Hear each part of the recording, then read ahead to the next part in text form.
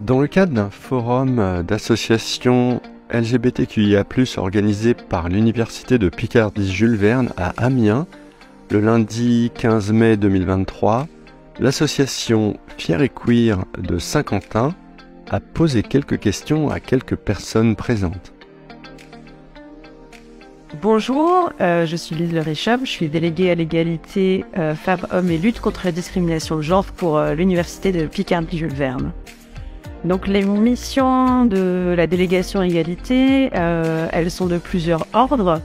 D'un côté, l'idée c'est de mettre en place des actions de formation, de sensibilisation et de prévention contre notamment les discriminations de genre et également dans la lutte contre les violences sexistes et sexuelles.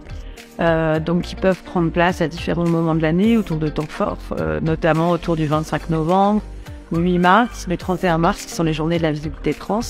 et puis le 17 mai qui est la journée internationale de lutte contre les LGBTQIA+ phobie.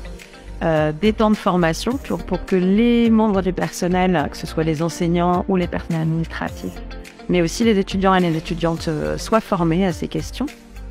Et puis aussi euh, je vous ai dit, des, actions de sensibilisation pour que surtout on puisse avoir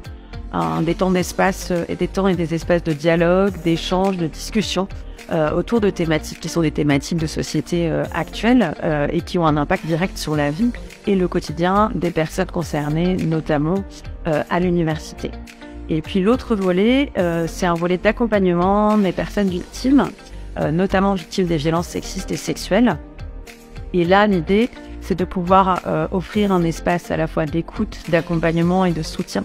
euh, avec différents versants, que ce soit un versant thérapeutique, que ce soit aussi un versant euh, disciplinaire ou un accompagnement juridique pour les personnes victimes.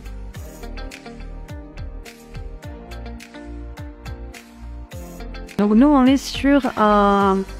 mode de fonctionnement légal qui n'est pas tout à fait le même, puisqu'en fait, dans l'enseignement supérieur et la recherche, on n'est pas euh, forcément soumis exactement aux mêmes circulaires que celles qui valent pour l'éducation et l'enseignement dans le secondaire, notamment. Euh, puisque euh, nous, ce à quoi on répond, c'est une circulaire qui a été éditée par la ministre de l'Enseignement supérieur et de la Recherche, qui rend obligatoire, de façon inconditionnelle, l'accueil des personnes transgenres par certains éléments, notamment l'utilisation des prénoms d'usage, c'est-à-dire qu'à partir du moment où les personnes le désirent, les établissements d'enseignement supérieur et de la recherche ont l'obligation euh, d'utiliser le prénom choisi par euh, les personnes, et également euh, dans la facilitation du quotidien des personnes trans, notamment à l'université.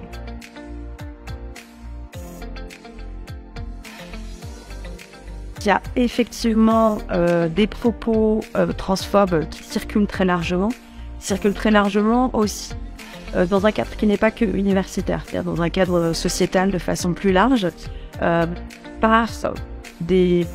des propos, des discours transphobes et certaines pensées transphobes qui circulent dans les médias, notamment, qui ont un écho médiatique assez important et qui sont repris par la suite comme des arguments et comme des arguments d'autorité. Euh, par certaines personnes. De façon plus concrète aussi, il y a, euh, euh, on peut identifier en fait une multitude de petits actes transphobes au quotidien qui sont peut-être moins visibles, peut-être moins manifestes, mais qui n'en constituent pas moins une succession de violences pour les personnes concernées finalement, puisque ce sont des, des, actes de violence, de discrimination et de harcèlement euh, qui viennent prendre place au sein même d'un espace où les personnes sont censées être protégées, justement, euh, qui est un espace de formation, qui est un espace aussi de construction de soi. Euh, et c'est en ce sens qu'il est important que l'ensemble des, établissements d'enseignement supérieur soient engagés, en fait, dans une lutte contre la transphobie. Euh, et puis bah, l'université Picardie-Jules en particulier, mais j'ai envie de dire que ça fait partie vraiment d'une cette obligation légale, elle a du sens parce que ça devrait être, euh, ça ne devrait même pas euh, être, euh, comment dire, un cadre légal. Ça devrait être la base, en fait, de l'accueil de toutes les personnes qui passent par l'université. Quand on regarde les chercheurs et les chercheuses vraiment se dédient à ces champs d'études depuis de nombreuses années, il y a un consensus. la difficulté est celle que des universitaires qui ne sont pas spécialistes de ces questions au titre de la recherche euh, souvent utilisent un discours de spécialiste parce qu'ils ont un statut d'universitaire. Mais finalement, les éléments qu'ils reprennent dans la construction de leurs propos sont plutôt des éléments qui émanent euh, d'une opinion ou des éléments qui émanent euh, d'une interprétation de quelques euh, textes, de quelques articles universitaires, alors que la majorité des, des, recherches qui sont menées depuis de longues années maintenant établissent finalement non pas euh, des propos d'opinion, mais un vrai champ de recherche avec euh, des enquêtes fouillées, avec des éléments factuels, euh, avec des comment dire, avec des croisements en fait entre ces différentes sources et ces différents textes